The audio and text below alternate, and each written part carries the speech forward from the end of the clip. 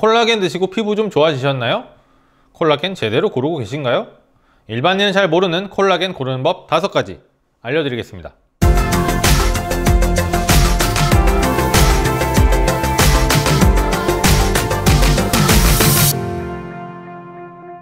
병원 의사에게 약은 약사에게 건강기능식품은 기능식품 전문가에게 안녕하세요 건강기능식품을 판매의 관점이 아닌 제조의 관점에서 알려드리는 건기남입니다 콜라겐 하면 대부분 피부를 떠올리시는데 콜라겐은 원래 관절에 좋은 것으로 만들어지고 판매되기 시작했다는 것 알고 계시면 좋겠고요 콜라겐 먹는다고 콜라겐 제품을 광고하는 연예인처럼 피부가 막 좋아지지는 않습니다 즉 인터넷이나 SNS에서 흔히 접하는 콜라겐 후기들은 대부분 다 거짓말이에요 그래도 콜라겐 드셔보고 싶으시죠? 이왕 드실 거 잘 고르시고 제대로 섭취하셨으면 합니다. 자, 일반인은 잘 모르는 콜라겐 고르는 법 다섯 가지 시작하겠습니다. 일반인은 잘 모르는 콜라겐 고르는 법 첫 번째. 반드시 건강기능식품일 필요는 없다. 건강기능식품으로 만들어지는 콜라겐 제품을 파는 업체는 콜라겐을 고를 때 반드시 건강기능식품 로고를 확인하라고 하죠. 자기들 콜라겐은 식약처로부터 기능성을 인정받은 콜라겐임을 매우 강조합니다. 그에 반해 일반 식품으로 만들어지는 즉 건강기능식품 로고가 없는 콜라겐 제품을 파는 판매처는 기능성보다는 콜라겐의 분자의 크기, 흡수율 등을 강조하죠. 저는 대부분의 경우 일반 식품보다는 식약처 인증 로고가 붙어있는 건강기능식품을 훨씬 더 추천드리는데요. 콜라겐은 꼭 그렇지 않습니다. 일반 식품으로 만들어진 콜라겐 제품도 괜찮은 경우가 많거든요. 왜냐하면 건강기능식품이든 일반 식품이든 사용되는 콜라겐 원료가 별반 다르지 않기 때문입니다.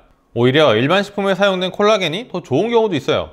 그럼 어떻게 골라야 할까요? 구매하시고자 하는 콜라겐이 건강기능식품이면 상당한 수준으로 검증이 된 제품이니 가격대만 맞으면 그냥 구매하시면 되겠고요. 구매하시고자 하는 콜라겐이 일반 식품이라면 즉 건강기능식품 로고가 없다면 이 다음에 말씀드린 것들을 꼼꼼히 체크하셔서 구매하시면 되겠습니다. 허위 과대 광고에 주의하시는 것도 잊지 마시고요. 일반 식품으로 만들어진 콜라겐들의 허위 과대 광고가 엄청 심하기 때문입니다. 일반인은 잘 모르는 콜라겐 고르는 법 두 번째 달톤과 원료명은 무시하자 먼저 달톤 말씀드릴게요 달톤, 콜라겐의 분자량을 이야기하는데 쉽게 말해서 콜라겐을 구성하는 입자의 크기라고 보시면 됩니다 그런데 요즘 달톤 마케팅이 너무 심하죠?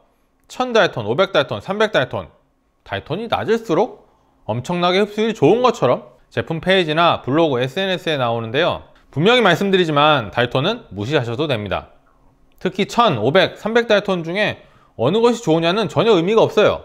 달톤이 낮을수록 좋다는 각종 논문 자료들이 있는데 제가 찾아보니까 SCI급 논문들도 아니더라고요. 이래서 블로그, SNS 너무 믿으시면 안 됩니다.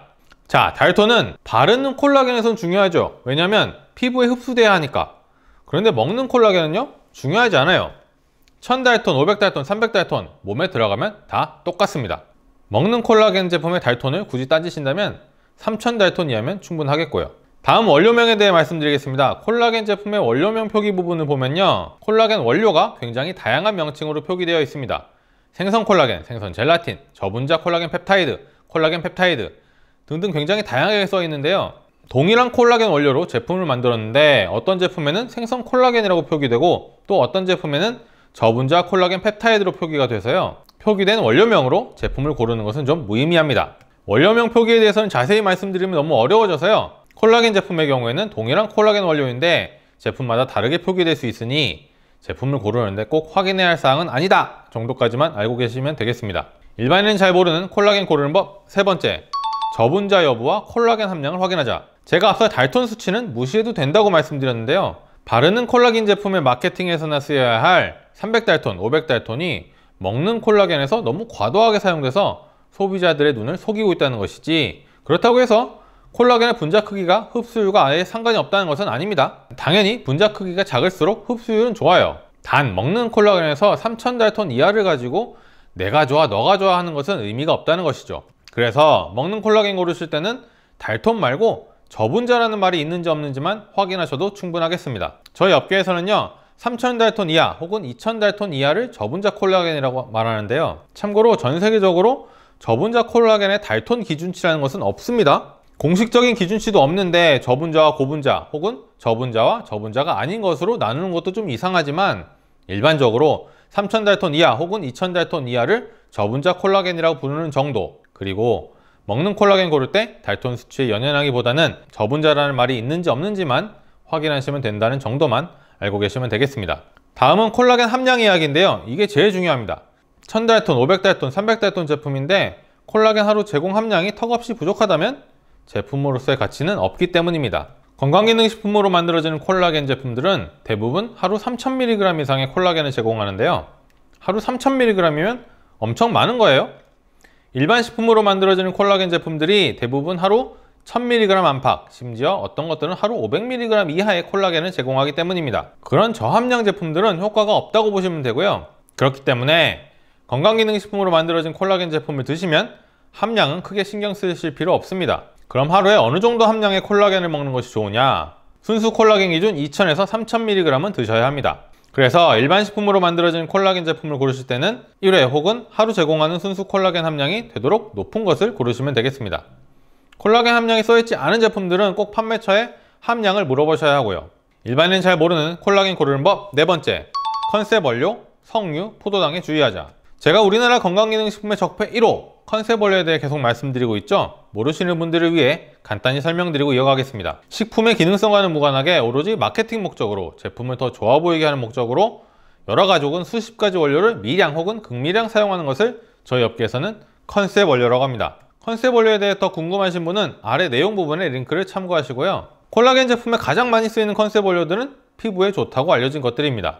세라마이드, 엘라스틴, 히알루론산, NAG 등등이죠. 대부분의 판매업체들이 굉장히 극미량의 엘라스틴과 히알루론산을 넣고 저희 콜라겐 제품에는 엘라스틴이 들어있어요 히알루론산이 들어있어요 하는데요 엘라스틴 1mg 히알루론산 0.5mg씩 들어있는 게 무슨 효과가 있을까요? 소비자를 속이는 데는 효과가 있겠네요 그래서 저희 제품에 엘라스틴, 히알루론산, 세라마이드가 들어있어요 하면 얼마나 들어있는데 그 정도 미량은 대체 왜 넣은 거야? 라고 물어보셔야 합니다 다음은 석류와 포도당입니다 요즘 콜라겐에 석류를 같이 넣는 제품들 많죠? 대부분 석류 농축액을 사용하는데요. 이거 조심하셔야 합니다. 석류에는 여성 호르몬인 에스트로겐이 풍부하게 들어있다고 하죠. 그래서 에스트로겐에 민감하신 분들은 석류 농축액이 들어간 콜라겐 제품을 막 드시면 안 되고요.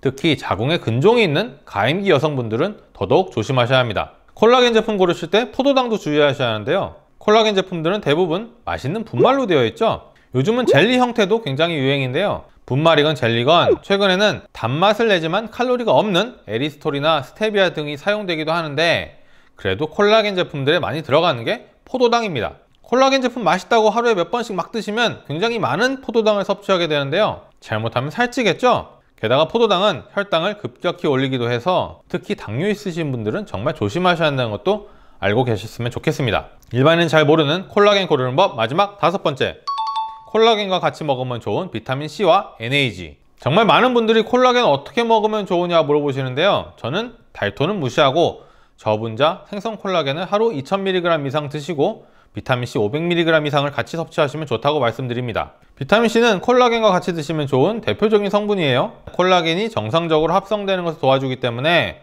콜라겐을 섭취하실 때 충분한 양의 비타민C를 챙겨 드시면 더욱 좋겠고요 비타민C가 같이 들어있는 콜라겐 제품을 고르시는 것도 좋긴 한데 대부분 컨셉원료 수준으로 들어가 있어서 따로 보충하시는 것을 추천드립니다. 그리고 NAG라고 들어보셨나요? NAG, N아세틸 글루코사민의 약자이고 히알루론산의 구성 성분인데요. 잘 모르시는 분들이 많습니다. 이 성분도 관절과 피부에 좋은데요. 막 저렴한 성분은 아닌데 그래도 세라마이드나 엘라스틴보다는 쉽게 구할 수 있고 효과도 괜찮아서 하루에 1000mg의 NAG를 콜라겐 제품과 같이 드시면 좋습니다. 지금까지 일반인은 잘 모르는 콜라겐 고르는 법 다섯 가지를 말씀드렸는데요. 요약해드리자면 달토는 무시하고 저분자만 확인하자. 순수 콜라겐으로 하루 2000mg 섭취하자. 컨셉 원료와 석류 그리고 포도당에 주의하고 비타민C와 NAG를 같이 먹으면 좋다 정도로 말씀드릴 수 있겠습니다. 궁금하신 것이 있으시면 댓글로 남겨주시고요. 이 영상이 도움이 되셨다면 구독과 좋아요 알림 설정까지 부탁드리겠습니다. 건기남이었습니다